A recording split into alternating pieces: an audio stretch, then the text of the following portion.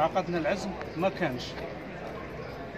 حكينا وهضرنا وريكلامينا قال لك ايرار إيش معناتها ايرار يعني هناك تجاوزات. التجاوزات هذه ما راح نسكتوا عليها إحنا. اللي عطاه الصندوق بصحته. هذا في الديمقراطية. صح باه نديروا المزاد هذه تاع اللجاز هذه تاع التسعينات. ما تكزيستيش. إحنا إحنا ماذا بين كلاس هذيك تشمع. d'accord. parce que اللي وقعت فيها حاجة كيما هذه خلاص. ما بقاش. ودروك انايا دخلت باش نفوطي راني بوطيت راني بوطيت كي دخلت وحوست على القائمة ما لقيتهاش. كي قلت لهم انايا وراهي القائمة. وعقدنا العزم على قائمه وعقدنا العزم. إيه رقم 37 كي قلت لهم انايا القائمة هاي مش محطوطة وين راحت؟ قال لك إحنا ماهوش المشكل تاعنا راه مشكل بلدي. كيفاه مشكل بلدي؟